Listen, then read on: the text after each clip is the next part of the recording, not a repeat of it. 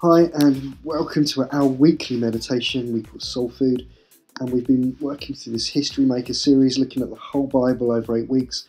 We're on week seven, and we looked at Romans and the epistles, and uh, the title was Out of Grace. Now, it's interesting to, to hear different people and how they explain their views on life, heaven, eternity. And there are many people, even Christians, who believe that if there is such a thing as heaven, you get there by being a good person, or you get there just because God is good.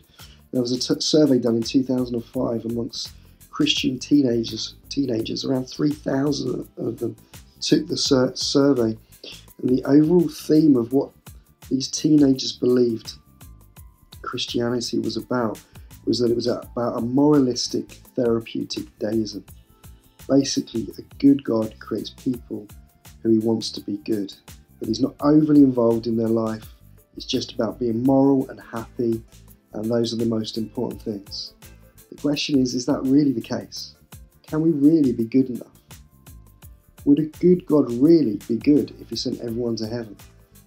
So, as we look at uh, Romans and the epistles, and particularly our key verse, uh, let us think about what does it mean to live a life out of grace rather than just out of goodness. So if we look at Romans 5 20 to 21, it says this Now the law came in to increase the sin or the trespass, but where sin increased, grace abounded or superabounded all the more. So that as sin reigned in death, grace also might reign through righteousness, leaving, leading to eternal life through Jesus Christ our Lord. So, what is it that you're operating in? Do you operate in grace or disgrace? Do you find it easy to to love both people and yourself, or do you find yourself becoming judgmental and cross and bitter?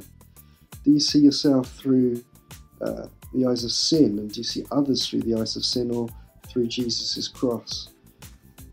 What can we do to understand this incredible, super abundant grace God has given us and to live in that, which enables us to live, live free, enables us to love ourselves and those around us?